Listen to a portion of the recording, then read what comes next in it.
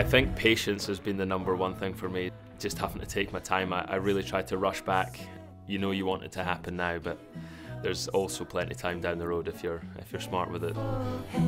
Coming out in 2023 was looking absolutely stellar, like on the form of my life. Just so excited to get myself to the races, and was over in California for a bit of a bucket list trip with uh, my dad and some friends and had a very unfortunate accident on a motocross bike. I didn't actually crash, just uh, dabbed my leg on the ground and gave myself a complicated break uh, through my leg. It took a lot longer than I thought it would take to heal.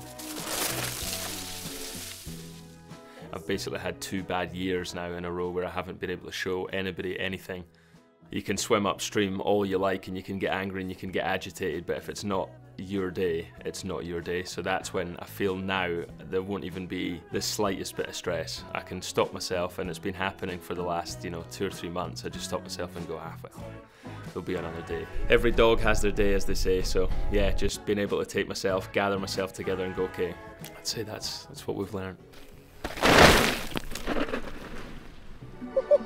I've had e-bikes now for three or four years. From the very first year they came out, I was desperate to get a hold of one, and it's one bike does everything. You can throw it on an uplift and you can do downhill days, you can climb up literally walls, you can do anything with them. They're like they're so capable.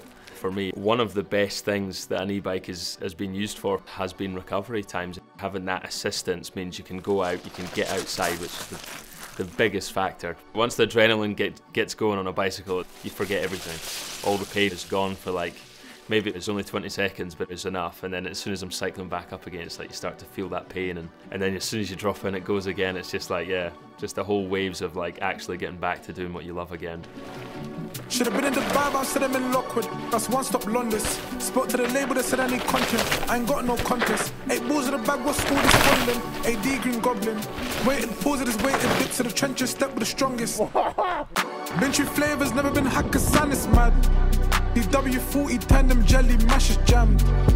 Having a cell that's 2v1, that's handicap. Diamonds, dust, no salary cap. Not refugees anymore, BTC, GPB anymore. She won't see me anymore. His sirens, but I won't flee anymore.